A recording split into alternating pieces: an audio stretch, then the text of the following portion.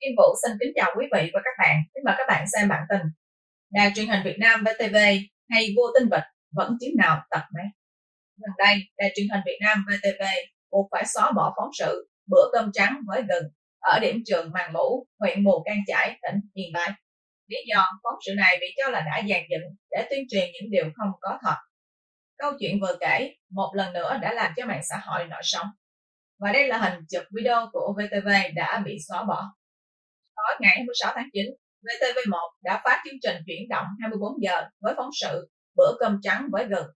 Phóng sự cho thấy các cháu bé học sinh mầm non ở đây phải ăn cơm với gừng chấm muối hay ăn cơm với đường. Theo báo tuổi trẻ ngày 27 tháng 9, Ủy ban huyện Mù Cang Chải đã xác minh cho biết nội dung phản ánh trong phóng sự nói trên của VTV là có sự dàn dựng và phản ảnh không đúng thực tế. Báo tuổi trẻ dẫn lời bà Lương Thị Xuyến, Phó Chủ tịch huyện Mù Cang Chải cho biết, hình ảnh học sinh và ăn cơm gừng, chấm muối trên truyền hình là hơi quá, phản ánh không chính xác về cuộc sống hiện tại của người dân. Bà Xuyến cho biết, ở Mù can Chải, ăn cơm với gừng là điều bình thường, như một gia vị người Mông rất hay ăn. Ngay sau đó, tất cả các video về phóng sự này đã bị xóa khỏi các nền tảng mạng xã hội. Theo báo cáo của Ủy ban huyện Mù Cang Chải, trường Màng Mũ chỉ tổ chức nấu hai buổi một tuần. Các buổi còn lại, học sinh tự mang cơm đến lớp bằng cặp lọc Ngày thứ hai 23 tháng 9, khi đoàn phóng viên của VTV1 đến trường làm phóng sự, mang cặp lòng cơm theo. Hôm đó, nhà trường đã tổ chức nấu canh cải bắp để các cháu ăn thêm. Trong báo cáo của huyện Mù Cang Chải, anh Hờ Adie, phụ huynh học sinh Đào và Thái Gừng trong phóng sự cho biết, sáng ngày 23 tháng 9, đoàn làm phóng sự đã đến nhà và hỏi nhà có gừng không thì mang đi cho con. Lúc đầu anh Hờ Adie chỉ thái vài lát gừng, nhưng các phóng viên bảo thái thật nhiều để quay phim nên anh có thái thêm.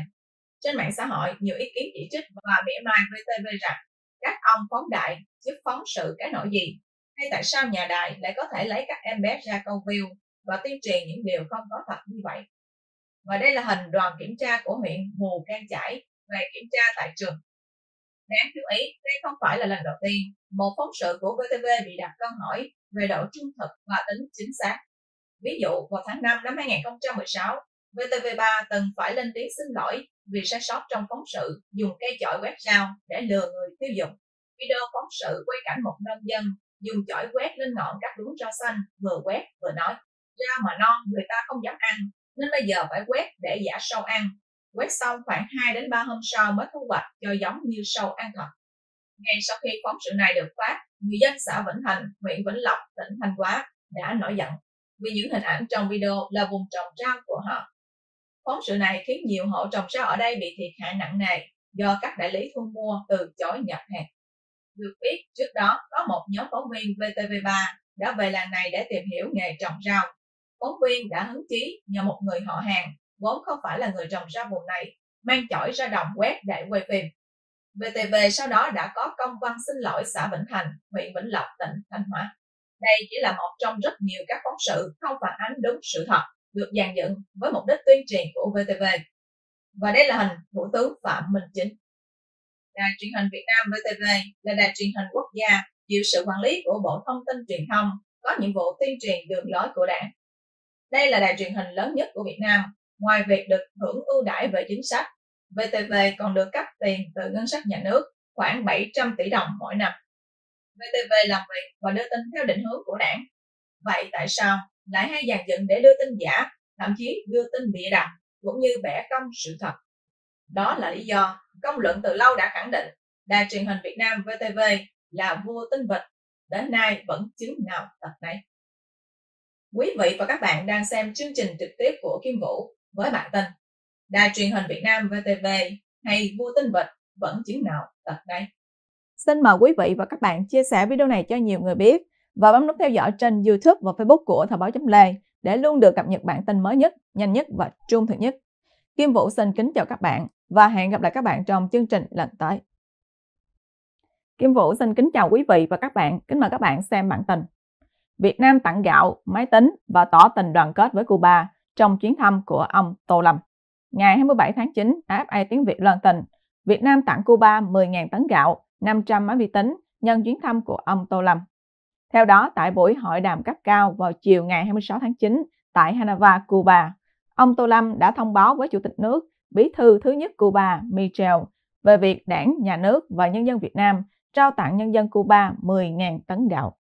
Ngoài ra, Trung ương Đảng Cộng sản Việt Nam cũng tặng Trung ương Đảng Cộng sản Cuba 500 máy tính. AFA dẫn đại tiếng nói Việt Nam VOV cho biết, Chủ tịch nước kiêm Tổng bí thư Tô Lâm khẳng định lập trường không đổi của đảng, nhà nước và nhân dân Việt Nam là đoàn kết, ủng hộ sự nghiệp đấu tranh chính nghĩa của nhân dân Cuba, yêu cầu dỡ bỏ các lệnh bao vây, cấm vận đối với Cuba, đưa Cuba ra khỏi danh sách đơn phương các nước bảo trợ khủng bố. Và đây là hình bản tin trên AFA. AFA cho biết ông Tô Lâm thực hiện chuyến thăm cấp nhà nước đến Cuba sau chuyến làm việc tại New York ở Mỹ để dự hội nghị tại Hội đồng Liên Hiệp Quốc. Ông Tô Lâm cũng có cuộc gặp ngắn với Tổng thống Mỹ Joe Biden trước khi lên đường sang Cuba và khẳng định quan hệ đối tác chiến lược toàn diện với Washington. Theo AFA, trong cuộc gặp mới đây tại Cuba, lãnh đạo hai nước đồng ý tăng cường hợp tác, trao đổi giữa các bang, cơ quan tham mưu của hai đảng trong việc trao đổi, chia sẻ kinh nghiệm, lý luận xây dựng chủ nghĩa xã hội, xây dựng đảng. Hai nhà lãnh đạo ủng hộ các cơ quan liên quan tăng cường phối hợp nghiên cứu mô hình, hợp tác sản xuất nông nghiệp nhằm hỗ trợ Cuba gia tăng sản lượng và năng lượng sản xuất tại chỗ, phát triển ngành nông nghiệp, bảo đảm an ninh lương thực. Cả hai nhất trí tiếp tục tích cực hỗ trợ, ủng hộ lẫn nhau tại các tổ chức diễn đàn quốc tế. Trước đó vào ngày 25 tháng 9, AFA đưa tin ông Tô Lâm kêu gọi Mỹ bỏ cấm vận Cuba. AFA cho hay trong bài đọc tại phiên thảo luận chung cấp cao Đại hội đồng Liên Hiệp Quốc vào tối ngày 24 tháng 9, Chủ tịch nước Tô Lâm đã kêu gọi Hoa Kỳ bỏ cấm vận đối với Cuba, nước Cộng sản anh em với Việt Nam, đồng thời quyết liệt phản đối các hành vi cô lập và cấm vận đơn phương. Và đây là hình bí thư thứ nhất Đảng Cộng sản Cuba, Chủ tịch Michel, tiễn Tổng bí thư Chủ tịch nước Tô Lâm và phu nhân. Vẫn theo AFA, bài phát biểu của ông Tô Lâm được thực hiện tại lễ khai mạc phiên thảo luận chung cấp cao Đại hội đồng Liên Hiệp Quốc khóa 79 với chủ đề Không để ai bị bỏ lại phía sau, hành động đoàn kết để thúc đẩy hòa bình, phát triển bền vững, phẩm giá con người vì các thế hệ hôm nay và tương lai. AFA cũng cho biết trong bài phát biểu của mình, ông Tô Lâm đã chia sẻ tầm nhìn của Việt Nam cho một tương lai hòa bình, ổn định.